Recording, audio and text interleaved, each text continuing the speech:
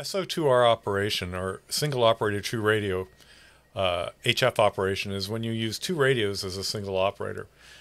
Generally, it is used in contesting where we want to be operating on one band while maybe hunting and pecking on a different band. Or if we're really going at it, we could actually be doing dueling CQ on each band if you're of that mindset and you really want a challenge. The Flex 6000 series radios can all leverage the SO2R operation beautifully uh, and that all comes complete with the radios. So it's just a software configuration, and I'm going to touch on some parts of it when you use N1MM as a logging program. All of this is built in. You don't have to buy anything extra. And as I said earlier, it works beautifully. Now, we have two different types of radios, one with uh, one spectral capture unit and an, another series of radios with two.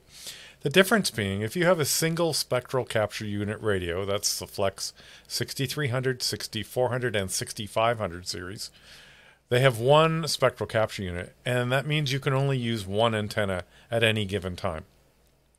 While it does have two antenna ports on the back of the radio, that is an antenna switch that allows you to switch between antenna 1 or antenna 2. In the Flex 6600 and the 6700, there are two spectral capture units, and that allows you to use two different antennas at the same time. And this is great. Uh, you could be on your tribander and an 8040 trap dipole at the same time with both radios. And there are two UHF connectors on the back, uh, and you can use both of them, as again, as I said, at the same time. And this is a significant advantage over any other product available if you wanted to do an SO2R operation where you don't have to go out and buy double of everything. It's already all built in, including bandpass filters. In the 6600, we have bandpass filters with greater than 55 to 60 dB of band isolation, and I'm going to show that isolation near the end of the video and how well it works. And on the 6500 uh, and 6400, we have about 30 to 35 dB of band isolation. Still pretty good numbers. So looking here at my screen, uh, this is a my remote desktop, and I have N1MM set up as an SO2R configuration. I'm not going to go into it in depth, but when you are using it in a contesting role, you have two logbook entry screens. One is here on the top. This one happens to be on 40 meters, and if I hit the pause key, the uh, focus will change to the bottom, and I'll be on 20 meters. The little red dot shows me where the transmitter is, and that matches the radio, which I'll show you in a minute. All this integration is hooked up in software to the radio, so no extra hardware is required to make it work. And that works really well. Here we're looking at a full setup of SO2R. We have uh, 40 meters on top. Uh, we have 20 meters on the bottom. I've got a QSO going on on both of them, CW on 20, sideband on 40, which will allow us to hear uh, the differences in left and right channels. So I'm going to turn the audio on. Uh, Bruce, WB8F. There's the 40 meter one. From A8 MRS. Okay, Gordon. Okay, By so it's way, clearly Gordon, 40, and then uh, I'm going to flip, and then of course the using CW is there? faded on a 20 uh, below, but we'll find Jupiter. another signal. The uh, Centec And we'll go over here. We've got some loud, C, louder CW. And if I hit the tilde key, we're going to hear both receivers at the same time. One in the left ear, one in the right ear. And your Jupiter sounds uh, very good with that horizontal end-fed wire. I think you said 85, 90 feet. So in the one year we had sideband, and the other year we had CW, and that's how SO2R works. And I can work both of these people because I have resonant antennas available to me in the 6600, and this allows me to quickly flip back and forth. And in any other world, if you wanted to do this, you'd have to double up everything. You would need two radios, two amplifiers, uh, some glorified switching. Uh, you'd have to go out and buy the part that did the audio part where we switch the audio back and forth. So pretty powerful. Built in here, we'll run through it one more time. But if we wanted to focus on the call- I've now turned off the 40 meter part just with a keystroke. Or with the pause key, I can go back to 40. So, um, founders. I made uh, several founders, and I.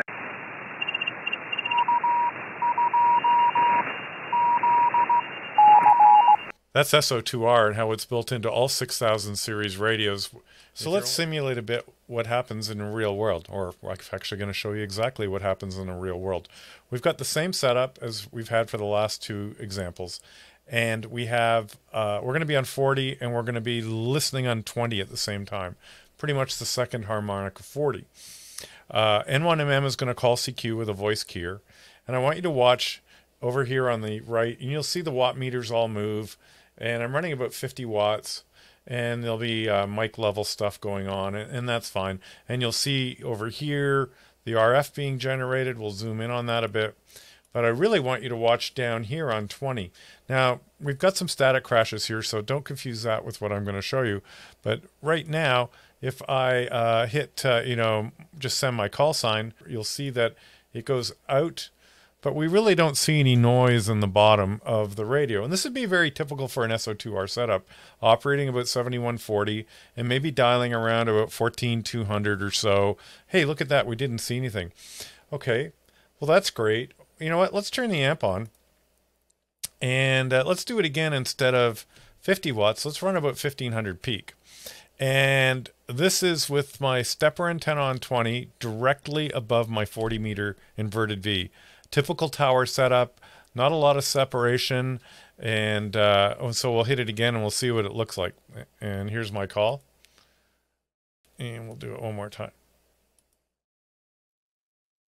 And you quite, you didn't really see it. And it's there. I mean, if we go up to 14280, you'll see the signal. Um, but let's um, let's turn the audio on. And we're going to mute this guy. And we'll unmute here. And, you know, you can hear it sort of, it's a little grumpy because uh, the band's a little noisy, but still, I'll call CQ on 40. Victor Alpha 3, Mike with. And I'll mute myself so you don't hear the monitor, and you will not hear any noise on 20. We'll do it again. So it's like we're not even there. Incredibly powerful. And uh, by the way, that was with the amp on. So what, what, what were we peaking? We were peaking 1500 watts. We'll do it one more time. And, and you can listen, especially if you happen to be on headphones, it'll be easier to hear. And that's the isolation. That's a 6600 Power Genius XL and two separate antennas. And we don't even hear it uh, at the uh, you know in a typical operating area. So what does it look like? So we want to go up to 14280 or so. Um, 14280. Well, there's this really loud guy there. If we hit tune, we see our signal right here, right where it's supposed to be. But it uh, and I'll zoom out a bit, and you'll see it affects a bit of the band, but not as much as you'd think. And that's um, 900 watts right below. Uh, you could certainly hear through that. And, and if I even called CQ again, you know, there it goes. You see the top and bottom. But wow, that's incredibly good isolation. And that's without any extra external uh, bandpass filters. That's just with the bandpass filters in, built into the amplifier and the bandpass filters built into the radio. So in closing, if you want to watch that again, you'll see in the bottom that there was some signal right at the point of the second harmonic, uh, 14280. And it looked really broad and it looked really loud, but it actually wasn't that big a signal. And you will always have some bleed through on the second harmonic, so that's not uncommon. I learned after running CQ Worldwide or CQWPX uh, last weekend doing it that I almost never heard myself while I was running on two different bands that were adjacent until I got right near the second harmonic. And then occasionally, when I got very close, I'd start to hear a little clicking, but nothing that was incredibly distracting. Flex 6600 or 6700 with the amplifier is an incredibly seamless solution to put together with a couple of LAN cables, RF cables, and just a little thought on your antenna layout. I think you'll be pleased with the performance if you haven't tried it. Uh, if you have the equipment, certainly give it a try. And if you're a contester, it'll up your scores. And if you're not and you're a digital person, you can be on more bands at the same time without one band transmission impacting another. So I hope that helps you out a bit. 73, thanks for taking the time to listen.